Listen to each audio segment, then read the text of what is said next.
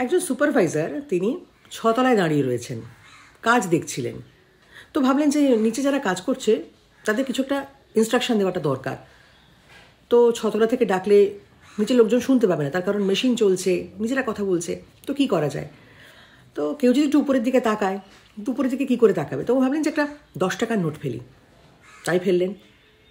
যে লেবারটি দেখতে পেল, সে কিন্তু দশ টাকার নোটটি পেয়ে পকেটে ভরে নিল। উপরের দিকে তাকালো না। তো খানিক বাদে তিনি একটা পঞ্চাশ টাকা নোট ফেললেন। একই ঘটনা। তারপরে একটা একশো টাকার নোট ফেললেন, তখনও এক ঘটনা। লেবারটি কিন্তু উপরের দিকে তাকাচ্ছেই না। নিচ্ছে আর পকেটে হচ্ছে নিচ্ছে, পকেটে হচ্ছে তো সুপারভাইজার ভাবেন যে তো মহা সমস্যা হয়েছে। মানে ছোট্ট পাথরের টুকরো, ইচ্ছে করে ওই লেবারের গায়ে তিনি ফেললেন। হ্যাঁ ছোট্ট পাথরের টুকরো হার্ম হার্মফুল নয়, হার্ম হবে না কারোর। তো তখন সেই লেবারটি এরকম করে চিৎকার করে বলে, এই কে রে? কে ফেলছিস গায়ে? দেখল যে তার স্যার দাঁড়িয়ে রয়েছেন। তো সঙ্গে সঙ্গে ছুটে গেল, কি বলতে চাইছে? শুনতে গেল। তো এই যে ছোট্ট গল্পটা বললাম থেকে কি বোঝা গেল? বোঝা গেল এটাই যে যখন ভালো সময় থাকে আপনাদের ম্যাক্সিমাম মানুষের, তখন ঠাকুরকে ডাকার দরকার পড়ে না। মন্দিরে যাওয়ার দরকার পড়ে না, মন্ত্র বলারও দরকার পড়ে না। মিনিমাম একটা কৃতজ্ঞতা, সেটা জানানো দরকার পড়ে না যে, তোমাকে ধন্যবাদ ঈশ্বর। ভগবান তোমাকে ধন্যবাদ যে তোমার জন্য আমার এই দিনটা ভালো হয়েছে বা আমার কাজটা ভালো হয়েছে। এটা দরকার পড়ে না। কিন্তু সমস্যাটা সেখানে হয়, খুব দরকার পড়ে যখন আপনি কোনো সমস্যায় পড়েন। তখন এমন একটা মন্ত্র বলুন ম্যাডাম, যাতে আমার পাঁচ দিনের মধ্যে সমস্যাটা সমাধান হয়ে যায়। তাই তো? প্রচুর মেসেজেস থাকে। খুব তাড়াতাড়ি কিছু বলুন যাতে সলিউশন হয়। সবটা ম্যাজিক সবটা খুব মজা নাকি? সমস্যাটা হচ্ছে কৃতজ্ঞতা বোধের অভাব গ্র্যাটিচিউড এইটার অভাব। বুঝতে পেরেছেন? যখন ভালো সময় থাকে, ভালো সময় আসে, তখন তো এই তো। আর যখন খারাপ সময় হয়, তখন ঠাকুর, রক্ষা করো রক্ষা করো। মন্দিরে যাতায়াত মন্ত্র, কোন মন্ত্র বললে ভালো হয়, কোন মন্ত্র অ্যাকশন বেশি? কার পুজো করব, কার পুজো করব, কার সংকল্প করব, এইগুলো থাকে তো।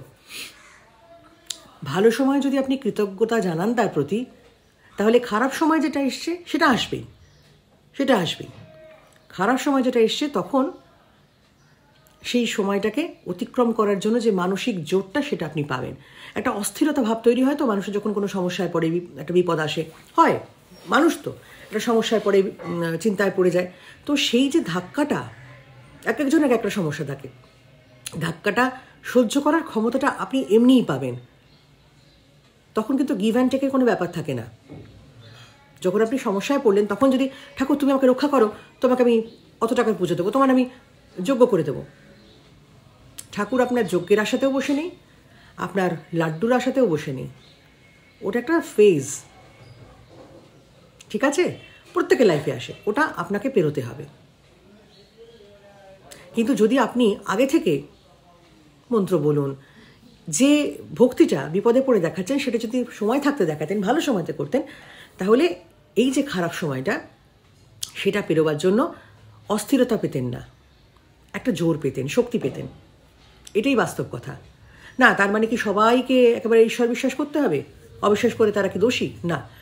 যারা মানতে চান না, মানেন না ইটস ওকে তারা মানেন না, তাদের নিশ্চয়ই কোনো লজিক আছে। তাদেরও দোষ দিচ্ছি না। যারা মানেন না, তাদের লাইফে কোনো সমস্যা নেই, নিশ্চয়ই তা নয়। তো তারা তাদের মতো করে ডিল করেন। আর আপনি যদি মানেন, তাহলে ভালো সময়তেও মানুন, খারাপ সময়তেও মানুন। এটাই হচ্ছে কথা। খারাপ সময় এলে প্রচণ্ড ভক্তি আমার বেড়ে গেল, ভালো সময়ে ফিরেও তাকালাম না। তাহলে তিনি বা আপনার দিকে তাকাবেন কেন বলুন তো? আপনি গিভ অ্যান্ড টেকে যাচ্ছেন, তার তো গিভের দরকার নেই, তার তো টেকেরও দরকার নেই। আপনার লাড্ডুর তার প্রয়োজন নেই, আপনার যজ্ঞের তার প্রয়োজন নেই। কিন্তু আপনার দরকার আছে, কি বলুন তো? শক্তি, জোর, এটার দরকার আছে। আপনার মেন্টাল পিসের দরকার আছে। একটা কথা তো আপনারা নিজেরাই বলেন। বলেন না, যখন আপনার কাছে কেউ সাহায্য চায়, তখন আপনি বলেন না, যতদিন ভালো সময় ছিল, তখন তো ঘুরেও তাকাসনি, ফিরেও তাকাসনি। আজকে খারাপ সময় পড়েছে, আজকে আমার দরকার পড়েছে। তো এক্ষেত্রেও তো সেটাই প্রযোজ্য হলো, তাই নয়? ভালো সময় তার দিকে ফিরে তাকান না, খারাপ সময় দরকার পড়েছে। তাহলে যে কাজটা নিজে করেন, সে কাজটা অন্য লোক করলে দোষ দেখেন কেন? ভালো করে ভাবুন। সুতরাং সমস্যা সবার লাইফেই থাকবে। একটু কৃতজ্ঞতা দেখাতে হবে, একটু কৃতজ্ঞতা প্রকাশ করা প্রয়োজন। এটা শুধু ঈশ্বরের ক্ষেত্রে না, বাড়ির লোকের ক্ষেত্রেও প্রযোজ্য। সুতরাং একটু গ্র্যাটিচিউড থাকতে হবে। গ্র্যাটিচিউড রাখাটা দরকার। এই হচ্ছে মূল বিষয়। খুব ভালো থাকুন।